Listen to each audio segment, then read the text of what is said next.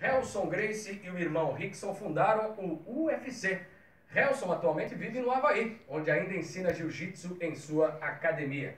E essa tarde ele realiza um workshop com demonstração de golpes e técnicas do esporte. E é com ele que eu converso agora ao vivo. Muito um prazer. prazer. Todo meu estar aqui. Prazer e uma honra recebê-lo.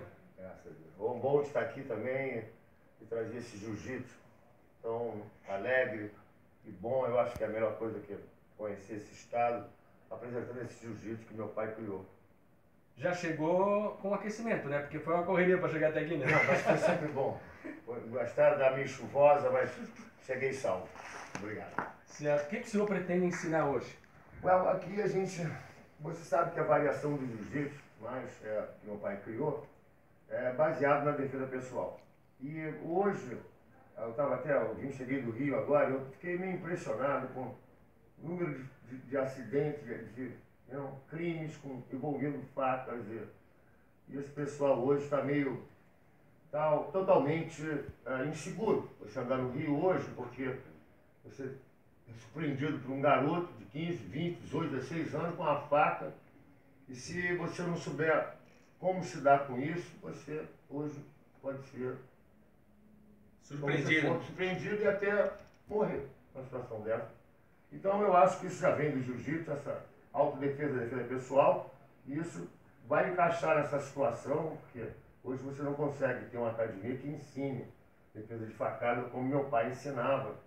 E essa que era o. Meu pai, como você sabe, era uma pessoa muito fina, ele nunca passou de 60 quilos e, e fez esse jiu-jitsu, entendeu? Essa coisa foi uma coisa que realmente. Essa é a razão que o Hélio Grace começou a difundir o jiu-jitsu para ele mesmo. Para ele poder se defender de uma pessoa como ele era tão fraca, dessas pessoas né, que vêm com atitudes ou agressões ou com um tipo de arma. Pode ser um pau, pode ser uma faca, um revólver na cabeça então, essa é a defesa pessoal que meu pai ensinava e que hoje não existe. Então, eu vou trazer esse jiu-jitsu novamente, com muita, muita energia, com muita inspiração, de dar essa parte boa do jiu-jitsu, que é a defesa pessoal, que eventualmente é bom para mulheres. Eu ensino a mulheres, crianças, eventualmente polícias federais, eu, toda a Polícia da América aprende comigo, Serviço Secreto, FBI. Eu ensino essas pessoas, polícias federais, que hoje também é usado em todo o exército americano é o Jiu-Jitsu Defesa Pessoal Hélio Grace, que é o livro currículo do Exército Americano. É, eu tinha até anotado aqui, o senhor ensinou autodefesa, como está falando, para o Exército dos Estados Unidos, Serviço Secreto, FBI, agentes policiais, e deu certo. E essa é uma coisa que é aprovada, porque é uma coisa, independentemente, não é que só a polícia, como o Exército, como o cidadão na rua. É porque hoje está assim. Você aprende a se defender de posições que realmente é difícil de se dar.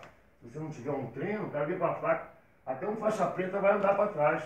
Uhum. Eu não souber exatamente como fazer a posição e o tempo de treino,